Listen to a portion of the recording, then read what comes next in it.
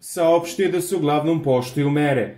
Mladen Mijatović se sa najnovim informacijama oglasio iz svog doma i saopštio najnovije informacije o pridržavanju mera tokom policijskog časa, najdužeg od kada je uvedeno vanredno stanje.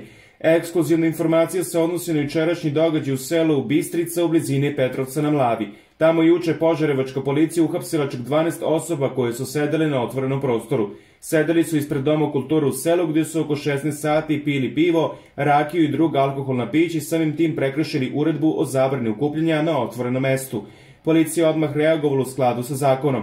Svih 12 ljudi sprovedeno je po skraćenom postupku kod dežurnog sudije za prekršaje koje se nalazi u Petrovcu na Mlavi, saopštio je Mijetović. Dodao je da je sudija sve njih osudio na novčanu kaznu od po 50.000 dinara, što je i minimalna novčana kazna koja je predviđena za ove prekršaje, naglasio da su oni potencijalno ugrozili zdravlje među sobom, ali i zdravlje svojih porodica zbog neodgovornog ponašanja.